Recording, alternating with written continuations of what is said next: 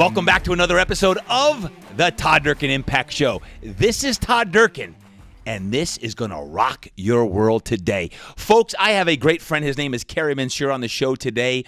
And one of the reasons why I asked him to come on the show is because Kerry is a long-time police officer. You talk about a great cop. This is the man who's made significant impact in not only San Diego, but nationwide and some of the initiatives he's got going on.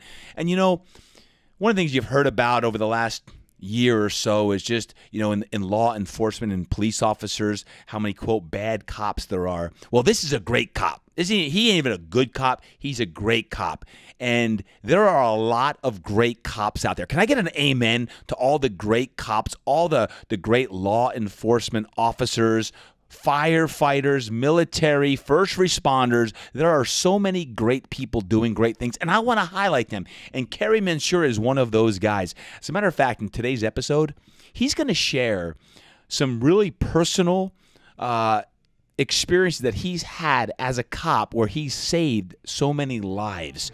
Um, and he shares his heart and soul. When I say the heart and soul of a great cop, you're going to feel it. So without further ado, let's go out to my good friend, Kerry Mensior.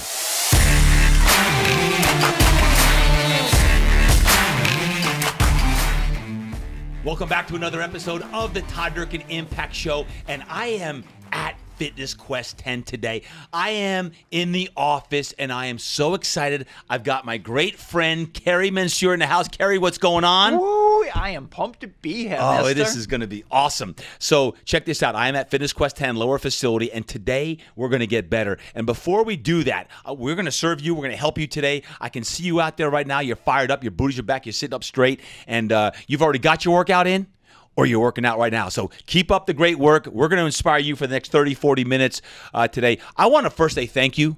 Thank you for the amazing feedback that you've been given the TD Impact Show. I mean, I'm talking people from all around the globe have been commenting that they've been listening while working out, while walking the dog, on the bus, on the train, on the plane. Yes, I said on the plane. People are traveling again. This is a good thing. So thank you for all your great words, your endorsements, all of your five star reviews on iTunes, all the endorsements. You guys rock and roll. Thank you for the comments. Keep them coming because I read every single one of them. So, Kerry, are you ready to deliver the goods? Absolutely. I had my workout at 6 a.m. class like I do every Monday through Friday. You work out five days a week, 6 a.m., Six days a week. six days a week. Five of them at you do boot 6 a.m. and then boot camp on Saturday, rain or shine. And, and sometimes you have been known to do double days. Uh, we, Diane and I have done a lot of double days Yeah. and sometimes triple days. So, guys, Kerry Mensior and his wife Diane are members and great clients at Fitness Quest 10. As a matter of fact, wait till you hear some amazing things they've done for our entire community coming up. But first, I want to give you the formal, the formal background of Kerry Mensior. Uh, he's a 30 year I said 30 year law enforcement veteran, and uh, he's the consummate first responder. And this is a great topic today because we talk about first responders, you know, police officers, firefighters, physicians, nurses, first responders, period. Uh, Kerry spent nine years in the Navy. Uh, the Navy Submarine Service is a former firefighter. He's a current EMT, and he just recently retired as a police sergeant of San Diego PD, SDPD, which I have a story for, and y'all are going to like this one. But as the founder of Tomorrow's Police Officer, check that out, tomorrowspoliceofficer.com. He helps people to get hired as law enforcement officers and helps current law enforcement officers learn critical communication and tactical skills in the area of conflict resolution and de escalation. What a great topic today. An international speaker, a best selling author, and a highly sought after communication mastery trainer. The man, the myth, the legend, Kerry Mensior, who's also known as a ninja communication uh, expert. He's here, easy to remember, even easier to implement. Kerry Mensior is in the house. Kerry, welcome. So glad to be here, Todd. I- Man. it- I've just uh, I listen to your podcast on a regular basis. I'm one of the people that's on a plane on a, on the road, listening to episode after episode, catching up on the back stuff that I that that I missed along the way, and I absolutely thank love you. it, man. You provide so much value, and you, you make people's lives better. You want to talk about having an impact? this podcast has an impact. That's the purpose of the show. So thank you. You know, I want to talk about impact because uh, before we go into your illustrious career in law enforcement, I want to talk about you know the craziness that's going on sometimes in the world, even in law enforcement. I want to talk about your day to day. You did something here in December of 2020, just uh, about two months ago, where we have scholarships that we give uh, to our staff, folks. Uh, the last well nine years, we have the Donna Dickinson Scholarship. Then we added the Aurora Scholarship, and this goes to our team members who are doing an amazing job. And in 2020, uh, with the pandemic going on, there were some Herculean efforts. So Kerry and Diane come to me and they say, "Hey, Todd." We'd like to to do something called the Force for Good scholarships, and we'd like to offer two thousand dollars in scholarships. I'm like, wow, wow, oh, wow. Can you talk about your vision and what the heck is the Force for Good scholarships, and why did you guys do this? So Diane Halfman has a podcast show called Live Your Spa Life. Yep. And she had settled on the theme for 2021 for her show being Force for Good. Mm. So every guest that she has on her podcast, it's all about that. And as we were talking about how could we support you, how we, how could we support the people because Fitness Quest 10 is family to us we we we get so much from working out here. Uh, It's it's it's on every level. It's not just a physical level. It's the mental, it's the emotional, it's the spiritual. The community that you've built here is amazing, and people gravitate to you. Uh, and they, they all have great hearts. So we wanted to be able to help support the staff that supports us every single time we're working. And we're here hmm. six days a week. Hmm. So that's why it just went along great with Diane's theme for her Live Your Spa Life show for Force for Good. Mm-hmm. And you know what? Your people were so amazing. When we read the scholarship applications, mm-hmm. we had settled on is like, okay, we can we can do two thousand.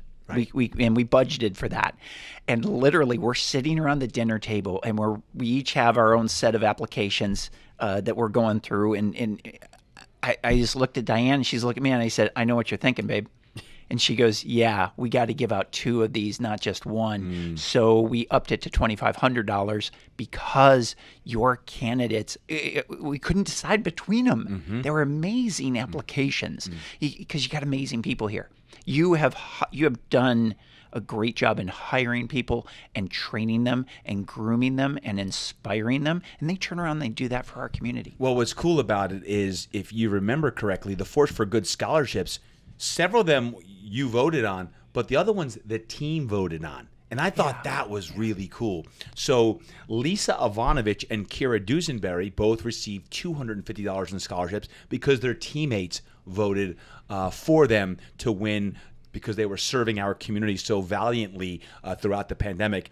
And then Ryan Rogers um, and Jesse Dietrich and Kira Dusenberry, they won again additional scholarship money totaling $2,500. So huge thank you and just gratitude for you and Diane uh, because that was that was certainly um, an amazing amazing uh, just thing that you guys did for us. So thank you. I, I appreciate the compliment. And you know, one thing, you know, as a business owner, I wanted to be able to support you in not just your employees, your team members being trained, but also the, the reason that we created the Spirit and the Soul Awards, where the team members voted on the winners, was because we wanted internally for you uh, as a business to be able to recognize the employees that are stepping up on a regular basis and have that inspire their teammates, the rest of the people here, because that makes your business more successful as well. And so, business owner to business owner, I wanted to support. Well, I that. think that's huge across the country right now, across the globe. We got to support small business owners. We've got to,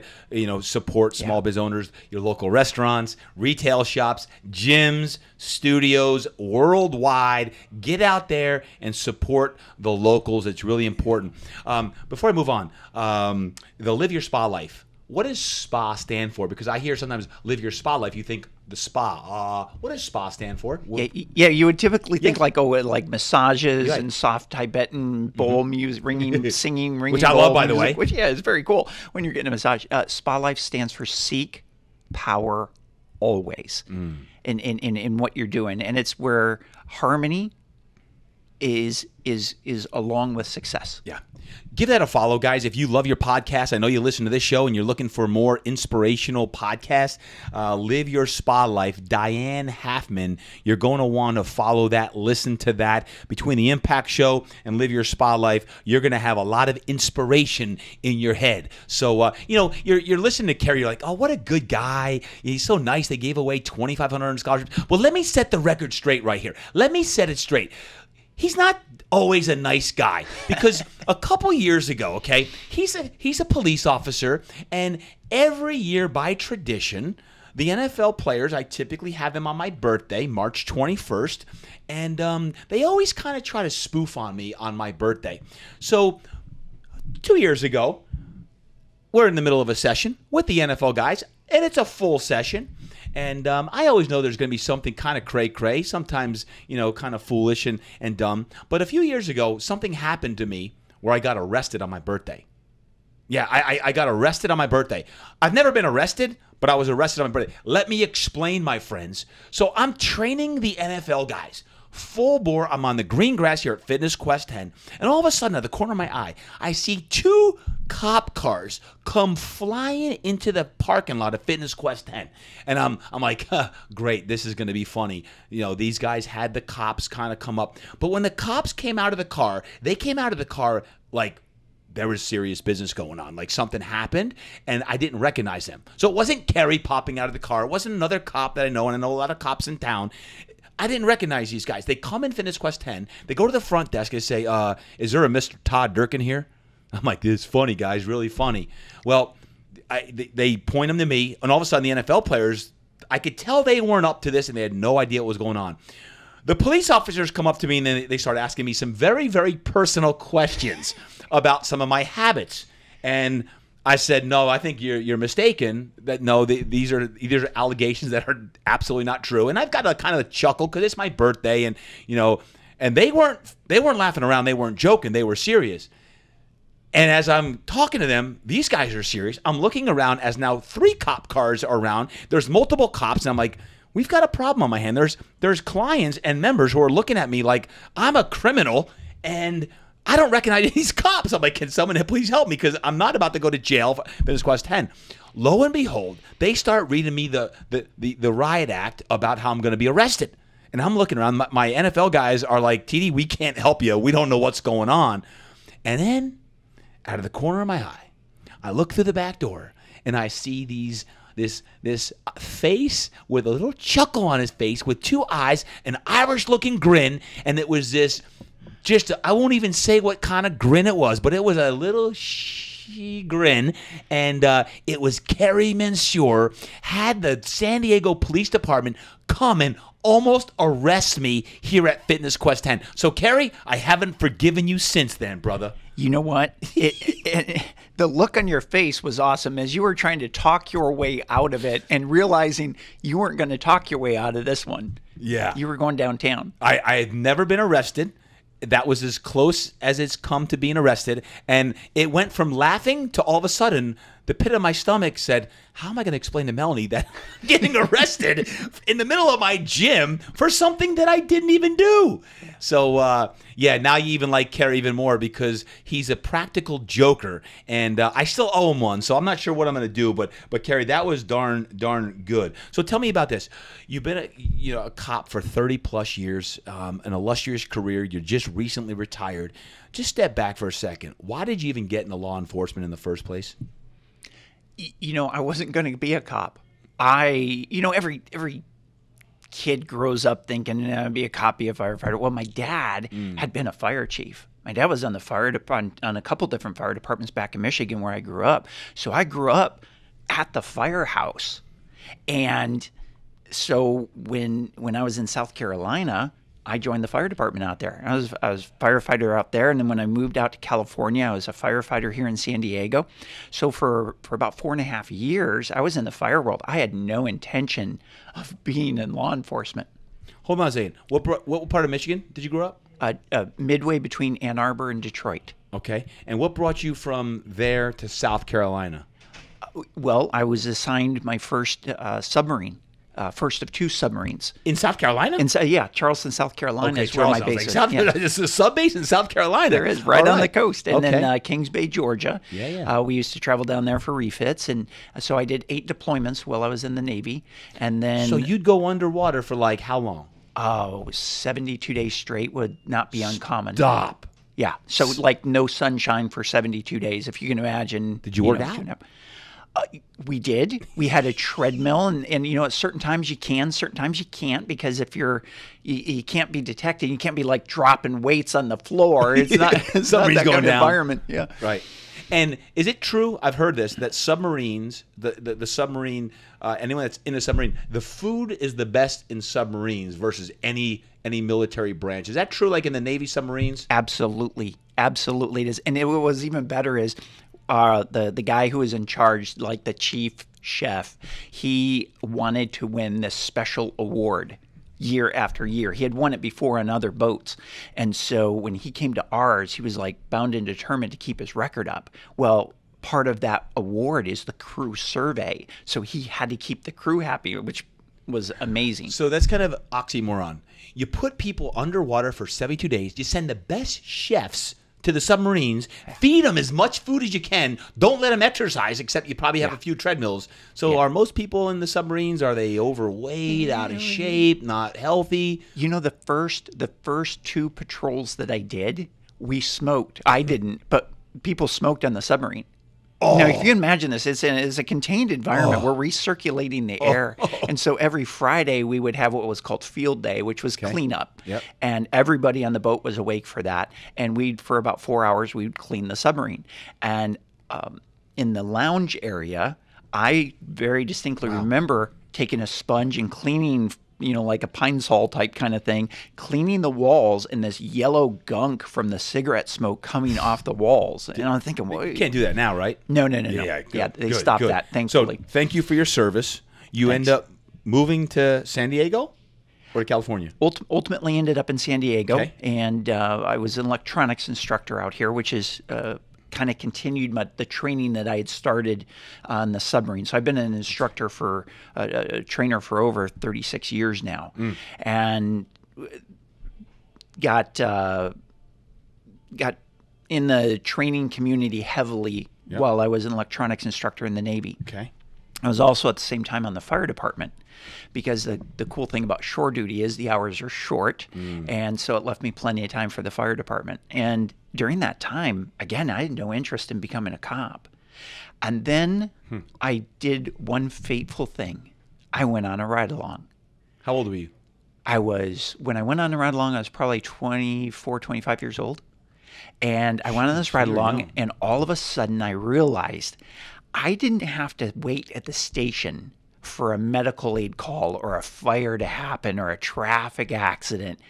I could go out and do my own thing at my own find pace and yeah and be proactive because hmm. firefighting is it's all reactive. The only proactive stuff you really do is is community relations and, and, and inspections and things like that but you're not you know you're waiting for the community to summon you. Hmm. Whereas in law enforcement you're proactive and you're going out and you're making a difference literally as as much as you can. So you're 24, 25, and you decide at that point, I want to be a cop. Yeah. So by the time I applied, went through the background investigation, the hiring process, which is it's it's hard. It's a, it's a very arduous process. In fact, getting hired as a cop, other than becoming a SEAL or Delta Force or Green Beret in the military, getting hired as a cop is the most arduous mm.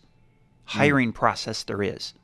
And it, it- it's incredibly expansive. Would you say more so today because of the, the economic climate or the, the political climate, or harder today, or the same today as it was 20, 30 years ago? No, it's it's definitely the same. I think it's if anything, it is a little bit harder. And here's here's the difference: people who are looking to go into law enforcement mm-hmm. have a host of temptations for behavior that can end your career before it begins than I did. You know, I grew up in in a rural part of Michigan. I, it never occurred to me. There wasn't even.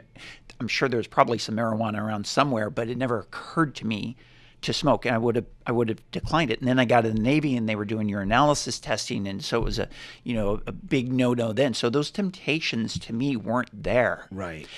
But nowadays, with recreational marijuana being okay, that can be something that can keep you from getting hired. Mm. And so making those decisions about what you want to do for the long term. Yeah. I want to talk about that later. I want to talk about later in the show if there's someone who is considering that some things to do and not do. I think it's it's interesting and not everyone obviously listening today um, wants to be a cop or is a cop, but I can guarantee you this, everyone who's listening right now can learn some of the lessons that Kerry has learned from being a cop for 30 plus years uh, and as a first responder as well. Um, speaking of which, with a 30 plus year career in law enforcement, there's obviously lots of experiences you had, lots of lessons learned. If there are two or three lessons that would be applicable for anyone, any of our mind right maniacs, any of our fire breathing dragons, of like what you learned as a cop that can be that can be taken for any of us, what would be a couple of those lessons? You know, I think the one of the top three or five is understanding that there's a perspective mm. and you have just one piece of that. Mm-hmm. And the ability to look through someone else's lens, the ability to understand what their perspective is, is so powerful. You know, I always used to say that if you if you interview a victim, witness, suspect, doesn't matter, and you and then interview the other people involved, there's going to be their side, like the suspect side, the victim side, and then the truth about what really happened. Mm. There because some and that's somewhere in the middle usually because everybody has their perspective about what happened. You can think about this, you know, if you're at home with your kids and and you have a disagreement with your children they have a perspective and if you if you ask them to tell you what happened you might go uh, what planet were you I- on that's what I would say. They're I wasn't the wrong perspective they have. of course it's the wrong perspective of course your kids of Right, course parents? Can I get an amen? yeah so the, the biggest thing is being able to take a step back and go Mm. okay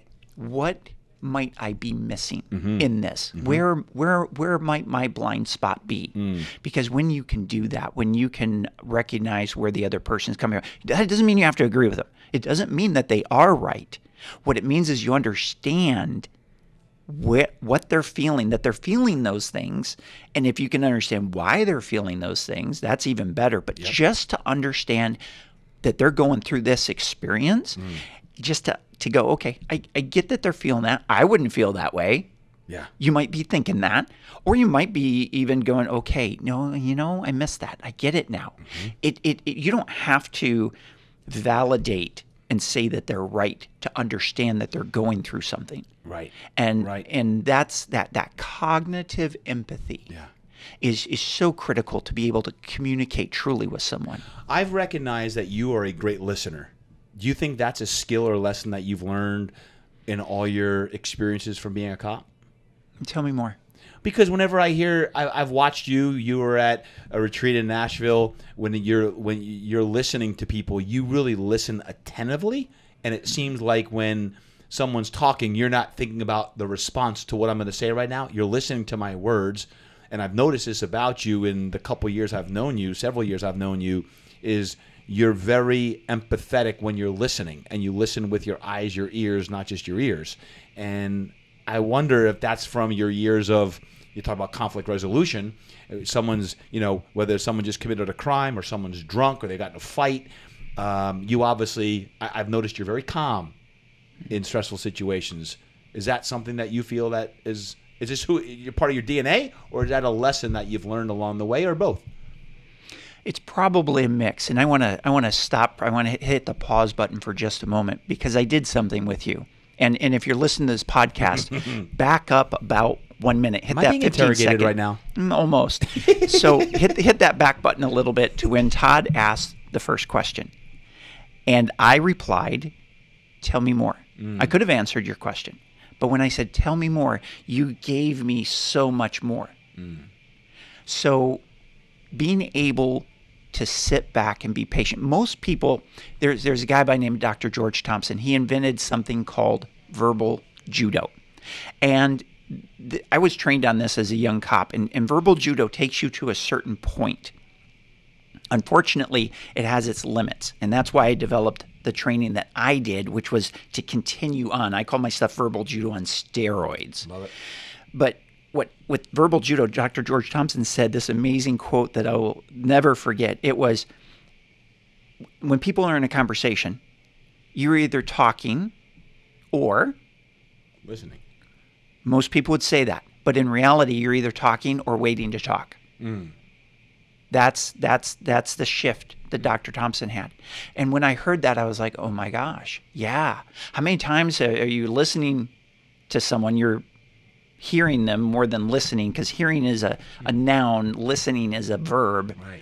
And so to listen to someone takes effort. You can hear somebody, but you're not necessarily taking in what they're saying.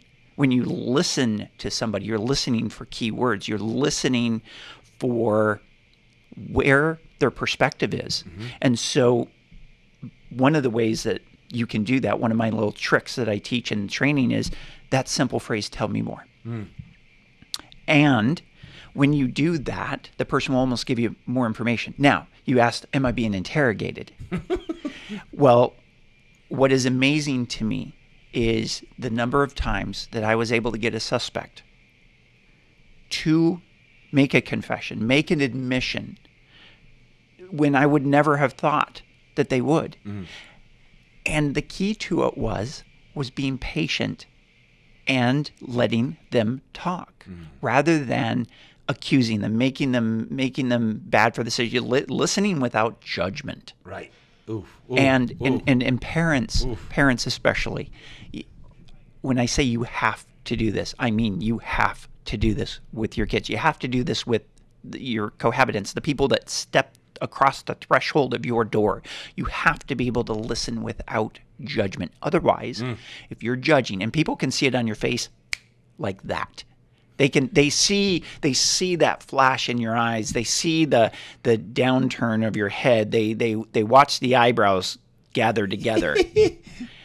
and they they see the WTF forming in the thought bubble above your head. By the way, that stands for wow, that's fun.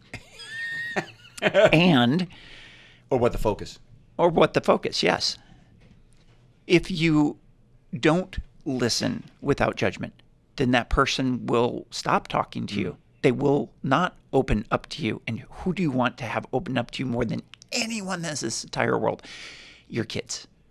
Now, if you don't have kids, your your kids, kids, you already have that great relationship. Then it's the people that you're closest to. You want them to open up to you, which means you have to be able to consider their perspective, which is listening without judgment. So when all right, here we go. So when Diane, let's say she just every now and then gets on your nerves. I know she doesn't, but let's just ah, say ah. let's just say she does, and you want to, as her loving mm-hmm. husband, you just want to just get bark back at her. So how does Kerry the cop deal with this from a relationship standpoint so that you don't just retort back something that's going to bite you in the backside and come back and put you in the doghouse forever? Well, I, and I'm going to say that I, I am human. And I am not perfect. I don't want to be perfect because the, the last guy that was like totally perfect, eh, look how it worked out for him. so, um, no, I, I'm not perfect. However, I will say this: I I I literally have I work hard at that. I mm. concentrate on that, and I developed an acronym called SALT. Mm. It's because it's easier to remember the SALT. And the first thing that I'll do is the S in SALT stands for stop.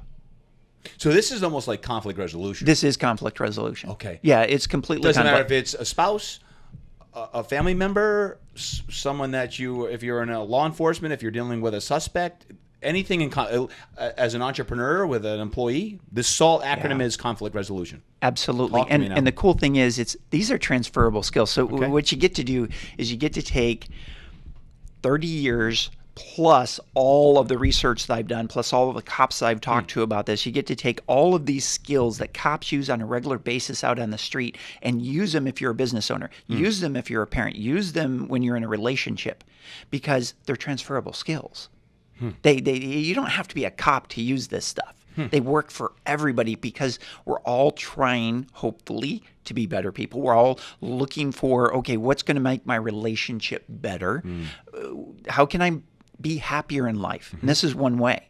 Mm-hmm. So the the first thing that you do is you recognize that my, I'm getting hijacked here. I'm hmm. starting to get upset. Hmm. I'm starting to, you know, it's it's called the amygdala hijack. So the amygdala, the, the emotional center of your brain, mm-hmm. it's starting to take over. It's dropping you into the fight or flight uh, state, the, the the the response. And and here's the thing, just real briefly, your brain, your brain can only be in one of two places, one of two states. It can be in an executive state, or it can be in a survival state. That's it. It's one or the other. Now, when you're in your executive state, you're using your prefrontal cortex. You're using the front of your brain. You're making well-reasoned decisions. This is where you're you're creative. You can improvise, adapt, and overcome. You can shift on a dime. You can you can yeah this great productivity this great focus when you're in the survival state which unfortunately about 70% of the time we're in survival state and think about this what, what has your brain been in for the last year hmm. since all the shutdown stuff happened since your lives changed dramatically That's right. so people are in that survival state even more today than they were February of 2020. Hmm. Now, when you're in survival state, you don't you don't think as well. You don't perform as well. You don't have the same focus, right? So you want to shift back when you can to that hmm. executive state. Mm-hmm. Well, one of the first ways that you do that, one of the there, and there's a couple different ways. You know, you know, at different times, different tools work. You know, in my in my toolbox, if all I have in my toolbox is a hammer, everything begins to look like a nail. That's right. So this is one tool. One tool is salt. So stop, Stop. pause, and and it's it's something called a pattern interrupt. It's a pattern interrupt for you. It's a pattern interrupt for the person that you're in conversation with. So because you've paused, the other person is like, "What's going on?" Now they might can, they might be so wrapped up, they might be so triggered, they might be so in their survival state that they just keep on talking. That's okay, because now we go into AL, which is actively listen. Now, active listening, that it, again, it's a verb. You you you mention some things and everybody can hit that 15 second 30 second back button and go back to what you said. But you said i listen with my eyes. I listen with my facial expressions. I listen with my body language. See i can talk to you. I'm not saying any words. And and it's a simple uh, i call it the golden retriever head tilt. I like that. The golden retriever head tilt you're, you're, well. ever seen a dog just look at you and go Jersey does it every day to me. yeah He does it every day. Right. And it what's interesting is you engage with your dog when they give you that head tilt. Mm-hmm. You almost cannot. it's so true. right? So as a human, you give them the golden I call it the golden retriever head tilt. Now your your your eyebrows move, your you you nod your head, you you you have that look of oh, you have that look on your face of hmm. Let me I'm thinking about what you're just saying mm-hmm. don't have the look on your face of your eyebrows furrowed together and, and you're getting angry because then you're waiting to talk. Yeah. Now, the, then the, the T, What's the L? The, the L's the active listening. That's the Got. AL. Okay, so got it, got it. stop, Got pause. To, I also call it the power of the pause. Got it. That's the pattern interrupt. Yep. Now, if that doesn't work and the person just keeps talking, then actively listen. And, and at some point, you're going to be in dialogue with the person, so actively listen at that point, and then take responsibility. So, Hmm. Diane, uh, I, I do I do dumb things all the time. I'm I'm like the king of dumb things. No. And KDT, that should be my nickname, King of Dumb Things. so I'll I'll do something, and she'll say, "Hey, you know this this happened," and I'll look at her and I'll go, uh, "Let me let me think of an example." Um, we have these dishes. They're Saladmaster or uh, uh, cook cookware, Saladmaster cookware. It's high end cookware. I love this stuff. Well, if you don't dry the lid, it, it gets water spots on it. Right. Now, honestly, she does not get on me about this, which is really cool. But let's say, let's use this as an example. Kerry, you didn't dry the lid, it got water spots on it. And if she happens, and Diane's an amazing woman, she does not use always and never. But sometimes those words slip into your vocabulary. The, the, the, the, There's no room for You anything always else. do that. Always do this. You never do this. And and so if that were the case, let's say she said you you always forget to dry the lid. Mm-hmm. What I would say to her is, you know what? Yeah, sometimes I do forget to dry the lid. Mm. Because I'm taking responsibility for my act. Did I forget it this time? Yes. Do I always forget it? No. Mm-hmm. Yet I do do it. So I own, Mm-hmm. I take responsibility for my actions, which is yes, Yep. yes, sometimes I forget to dry the lid Mm. because that takes all of the negative energy away. Salt. That's good. Now, I if, if I turn around and I say to her, "Well, honey, you forget to dry the lid too," well, we're going nowhere, mm-hmm. right? And and and the reality is, if she's calling me on dry, not drying the lid, she's calling me on leaving the the cap off the toothpaste. The argument's not about that. Mm-hmm. And what if if I want to be in relationship with her, I've got two choices. I can be right, or I can get it right. If I just want to be right, I didn't leave the tube, uh, the, the cap off. You must have, or or or Johnny did, or or the dog chewed it off. Yep. But if I want to get it right, if I want to get my relationship right, if I want to get my communication right, that requires me to take some responsibility for my actions. You know, it's interesting while you talk about this. I want to liken it because you're using the relationship analogy to business and entrepreneurism. Because when you talk about salt and you said stop, pause, and right, stop and pause and have a pattern interrupt. I think about like the last year, everyone's been busy, busy, reacting, quote, pivoting. And I feel a lot of it is we've been busy being busy because the busyness is such a disease. It's such a, you get addicted to the feeling of busyness. And one of the best things we could do is actually slow down or stop, pause, and say, Am I creating something that actually is in line with my purpose or in line with what I'm trying to create? And the active listening part, actively listen is are you seeking out the mentors? Are you seeking out people who are in your circle of influence who can give you feedback to say, no, no, no, you're spending your time on something that's wasting your time? Like I mean, when I'm thinking conflict resolution is your conflict re- resolution is maybe your business or your career isn't going the way you want it to, and you're saying it's the pandemic, it's COVID nineteen, all of that, which may be true, but truthfully, you could also be just being busy and you're focusing on the wrong things. And the taking responsibility to your point, Kerry, is this: as a leader for twenty something years in my businesses, is it's so easy to point fingers at the employees aren't doing their job. They don't mm-hmm. care like I care. They're not as hardworking. They're not willing to work seven days a week. No fake. Th- they're- th- many of them aren't. That maybe that's my responsibility as a leader to say, how can I empower and impart wisdom, vision, mission in them so that they can see growth opportunities, that they could that I could listen to what they want for their life and I can help them create that if it is in alignment with our core values and our mission as well. So I liken your your conflict resolution of salt not only to relationships but in the business or career world. If you're not happy with your career, you're not you're not achieving what you want. Perhaps you use that acronym, you stop, you pause, you have a pattern interrupt, you seek out other mentors or people in your life who understand your industry, and then you take responsibility. Say, you know what, this is on me. I gotta improve my habits and start working out again. Huh? How does working out have to do with my career success? Are you kidding? If you've been listening to this podcast for 150 something episodes or whatever we're at now, is like like you've got to be dialing into your habits and that does impact and affect everything in your life. So, man, salt. I like salty. We got to add a Y. Like, let's be salty. It's the Y? Say yes. Take responsibility for yourself. Yourself. There you go. There you go. Salty. All right. And and you know what? It- I, I learned this. eh, Obviously, shooting skills in law enforcement it's a big deal. We go to the range on a regular basis, and and uh, one of the blessings that I had, I had a Navy SEAL teaching me how to shoot, and they were, you know, he's teaching me this different techniques than the normal law enforcement instructor had. And he said something one day, and I'm like, oh my gosh, this is brilliant. He said, slow is smooth, and smooth is fast. What? Yeah, I use that in the conditioning world. perfect.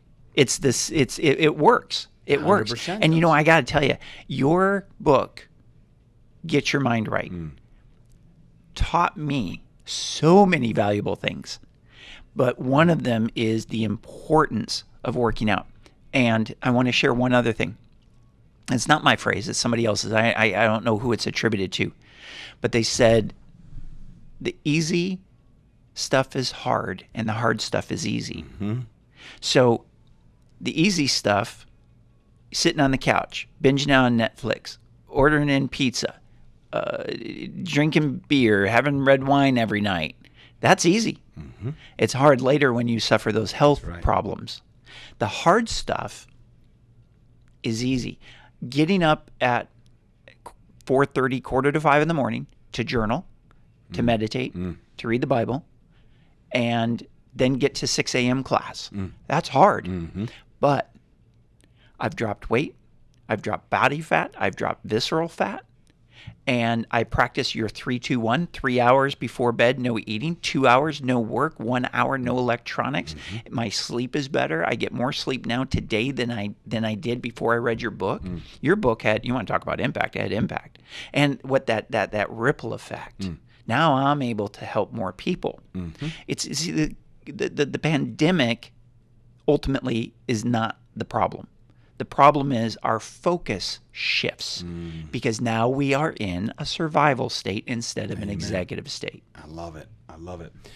I want to shift here some final questions, specifically about being a cop.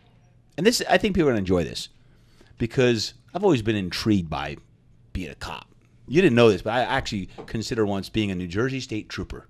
I was I oh, was wow. coaching back in Jersey. This is before I came out here, and a friend of mine was a state trooper. You know, you got the trooper hats, and you're and he's like, "Listen, TD, you you, you could be a Jersey State Trooper." And I was like thinking the Meadowlands, you got the troopers there, and I ended up I didn't end up doing that because I went and played football, but there's a lot of different hats you can wear in law enforcement, and from detective, undercover, SWAT, all these you know all these different roles.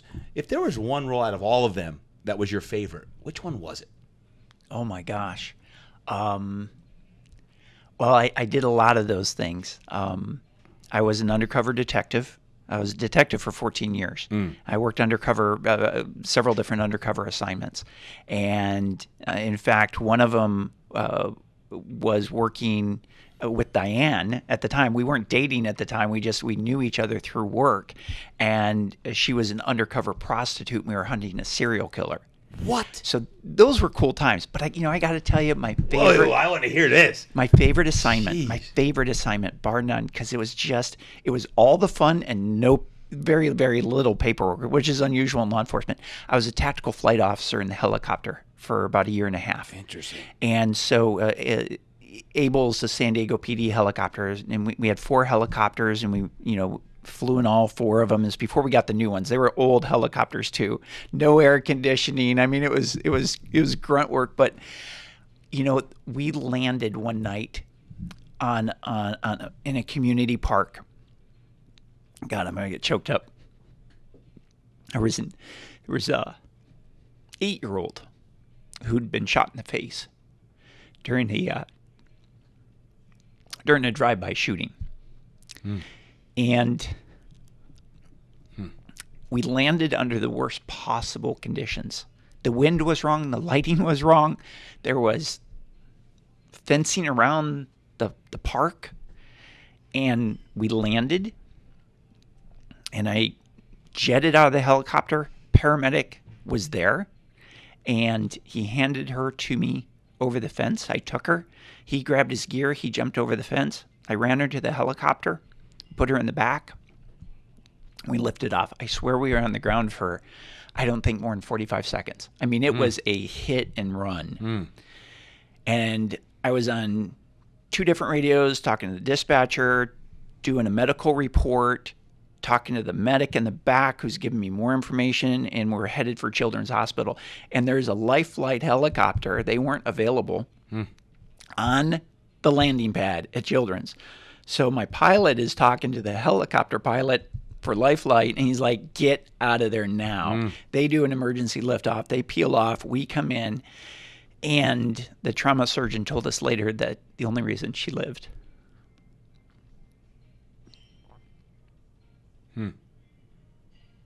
was because of what we did. So I look at it this way over 30 years, um, I have saved more lives than I've taken. And uh, that's a pretty good balance to have after a 30 year career. Wow.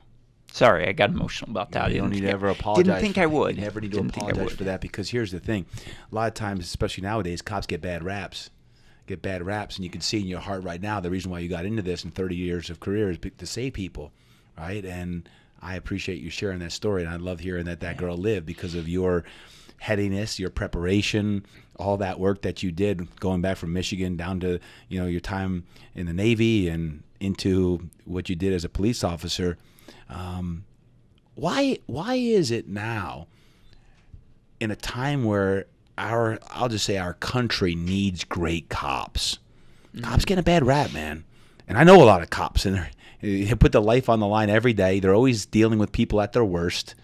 Um, you know, how do you as a cop yourself, what's it all about and, and and what makes a great cop how do you how do you how do you attract more cops today like we need more great cops and unfortunately every time you if you turn on the tv and watch the news if you do that i don't but cops are getting a bad rap and we don't want to lose great cops because we need great cops we don't need bad cops the bad cops always get the headlines and you know obviously in any profession there's bad people but we need more great cops you talk about that Yeah, and and I've always said that. Look, we're never going to have perfect cops. We hire from the human race, mm. right? Good point. We, we, we we've got bad doctors, bad teachers. You know, there's there's always a percentage, but there it's such a small percentage. And when you think about it, you don't have to have a, a background investigation like a cop does to get hired. You know, and it, they're carrying they're they're carrying the ability to take away someone's freedom. The very thing our country was founded on. A law enforcement officer can take away from you and take away your life. Mm. And and yes, the, the the viral videos those are hard, and and the protests are hard. Right. We need great cops because of this. Mm.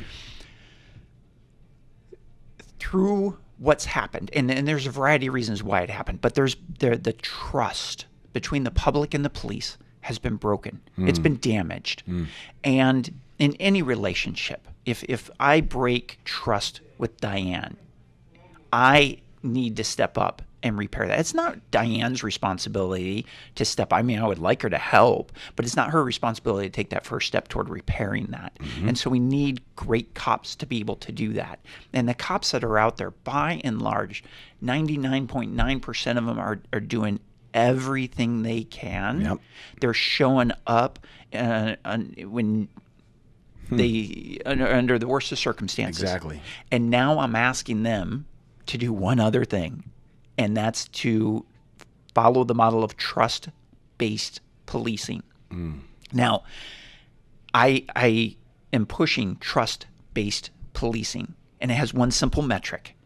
When you have an encounter with a citizen, does that citizen, when you walk away, trust law enforcement more? Hmm. And if you get somebody who hates cops or who doesn't like cops or who doesn't really trust law enforcement, are they going to turn 180 and all of a sudden be a raving fan? No, it's probably not because that's not human nature. However, can you move the needle a little bit? And, and if nothing else, have you done the metric is this have you done everything that you can to lead that person trusting law enforcement just a little bit more? Mm. Doesn't have to be a lot. You say all the time 1% better every day. Mm-hmm.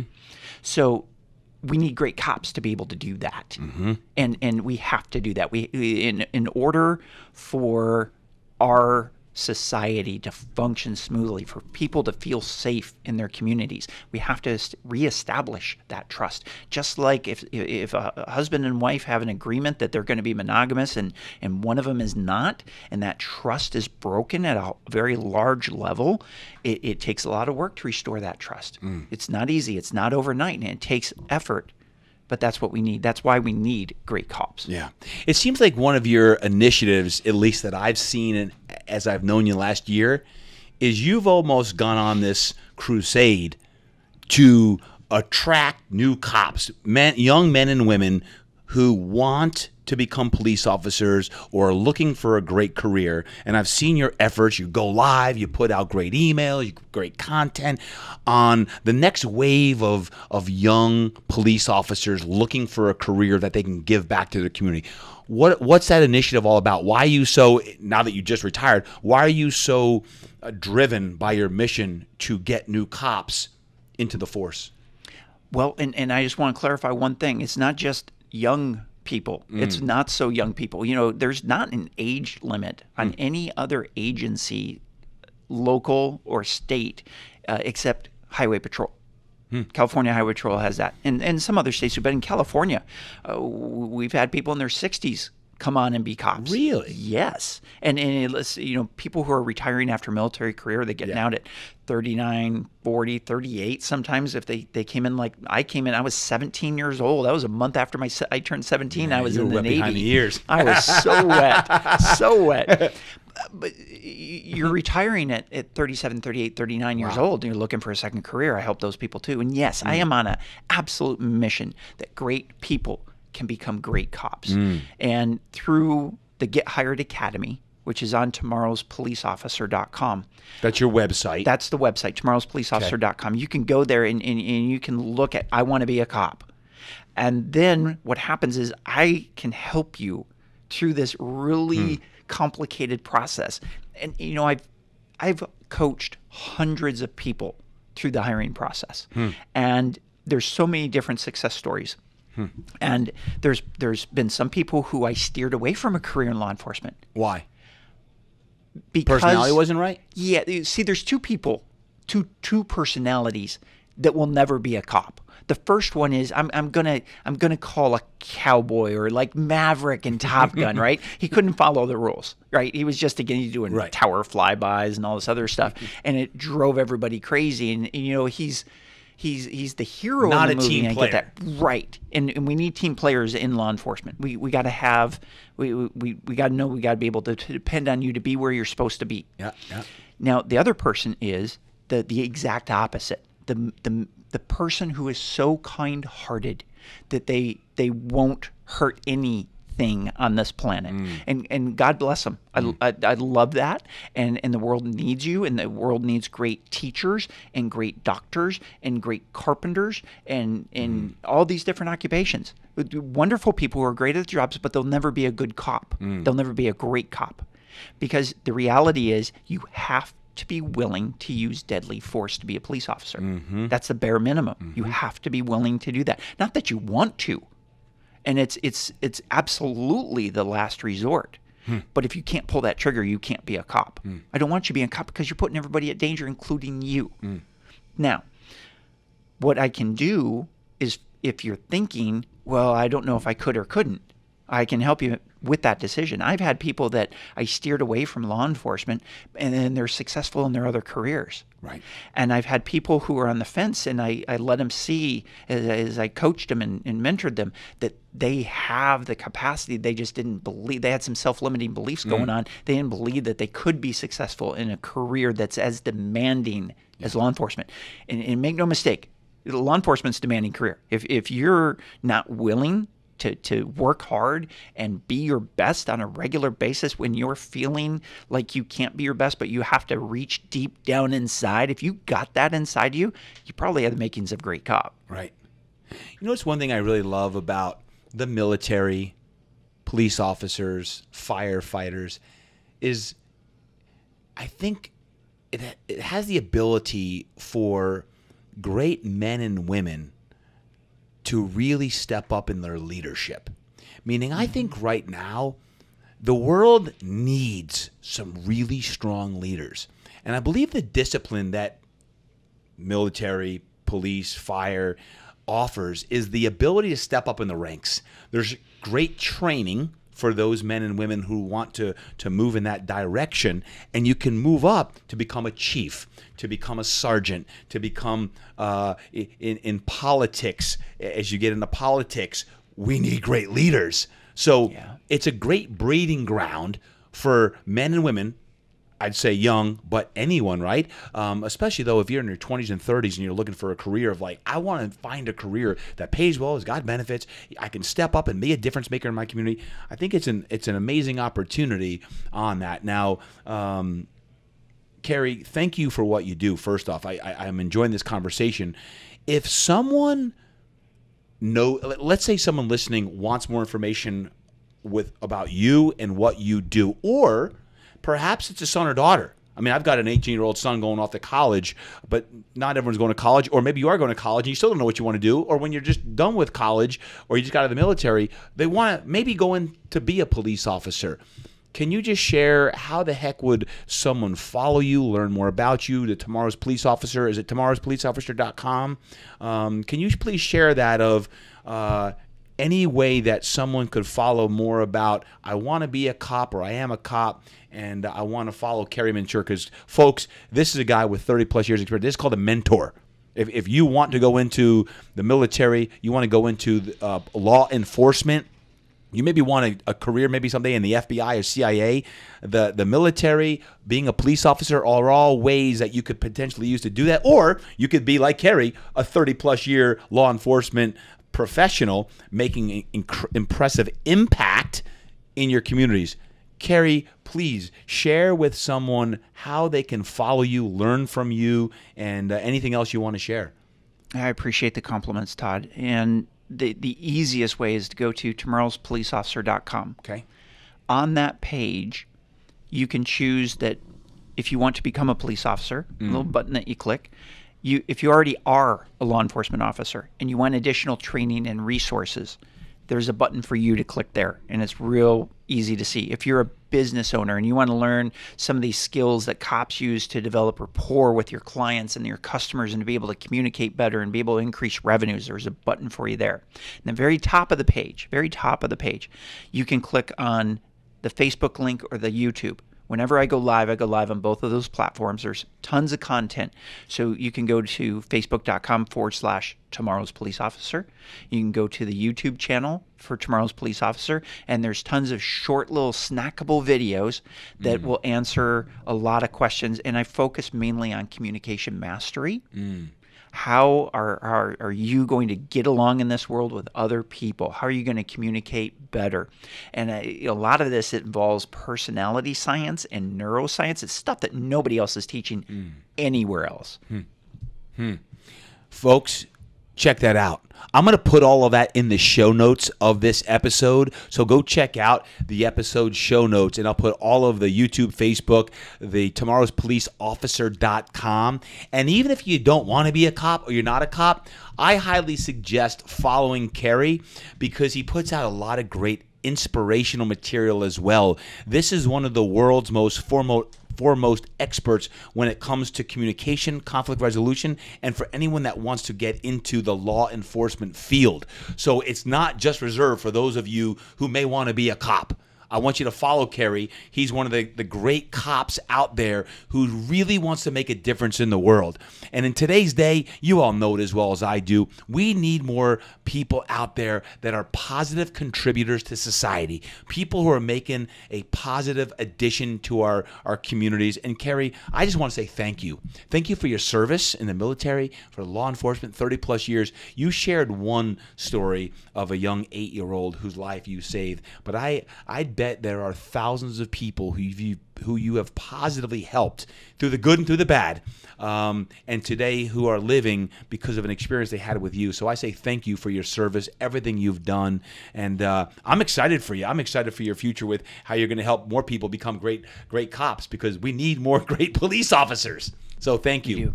Thank you. And you know, I want to I want to leave you with a quote and, and I'm going to paraphrase it just a little bit. Uh, Ralph Waldo Emerson. Mm. And I, I, I, read this quote in a, in a book one morning right before I went to work. And I was working swing shift. And it says the, the quote from Emerson is Every man I meet is better than me in some way. Mm. In that of him I learn everybody's got something that they're better at than you are. Mm-hmm. Some some some skill or or something that they got over you that they do better. Learn from that, you know, and it, it gives you the ability to to respect the other person at, at a new level. Mm. You know, that day that I read that quote, I went out on swing shift, and the very, very first call was to the Greyhound bus station for a man down. And it was a, a drunk transient. Hmm. He was passed out. We woke him up, made sure he was okay, and then we are going to take him over to detox. And I'm got him handcuffed. I'm starting to search him before I put him in the backseat of my police car, and I hear the sound of water running. And I look down, and urine's running down his leg, bouncing off his shoe, kind of like a fountain, and then into the gutter where we were standing right on the edge of the street. And I looked at him. I said, "Dude, do you know that you're peeing your pants?" and he looked at me. He smiled. And he goes, "Yeah." And this quote runs through my head every mm. man is better than me in some way in that of him i learned. I'm thinking uh, what's this guy got over me? Mm. And all of a sudden it hit me. He's got survival skills. This is a man who doesn't want to go into a shelter who's mm. he, he he doesn't want to obey the rules. And he's so dedicated to living life his way that he'll do whatever it takes. He'll do things I would never do. I wouldn't sleep out on the streets like that. I wouldn't be cold and miserable like that. But to him, that's the trade-off. Hmm. So his survival skills, his his belief in living life his own way, he's got that over me. Hmm. And what I did that day that was such a huge shift for me, Todd. And and I hope somebody else listening to this can have that same shift. If you're looking down on other people, it gives you the ability when you think about every man is better than me in some way in that of him i learn it gives you the ability to go okay this is this is another human being and even though i don't agree with the way that they're living i would never do this they, they got something going on that's good and and you know for them Powerful. Powerful. Wow. Thank you for sharing that. Guys, Kerry Mensior, follow him. Uh, Kerry, really deep conversation. I thoroughly enjoyed that. Um, I appreciate you. And again, thank you. Even though you once almost arrested me, I say thank you. thanks for thanks for having so much impact in the world todd and you inspire me on a mm-hmm. daily basis and i mean that Thank, Thank you. you.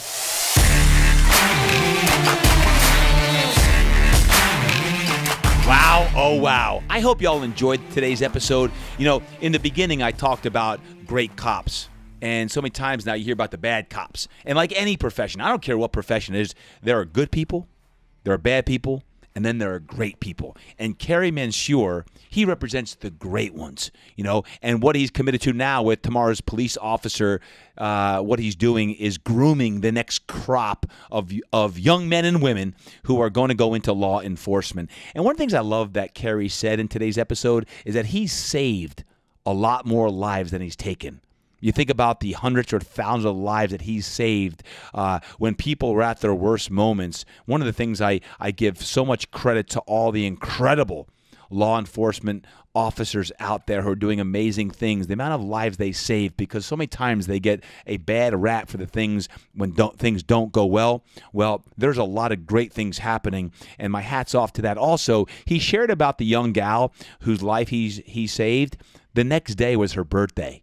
And he got emotional after the show, actually talking about what I didn't share on the show was the next day was her birthday, and that he and his comrade went to to uh, Walmart uh, or or Target and bought her several hundred dollars worth of gifts. That's because the heart and soul of that man is one where he wanted to serve the community. So my hat's off to Officer Mensior today and all that he shared, and to all the men and women who serve valiantly today, whether it be in the military, whether it be as a police officer, as a firefighter, uh, or as a first responder in in medical care today. There's so many people doing great things, and for that I say thank you, and for that, I say continue to train hard, continue to eat right, and don't forget to continue to live inspired and create impact.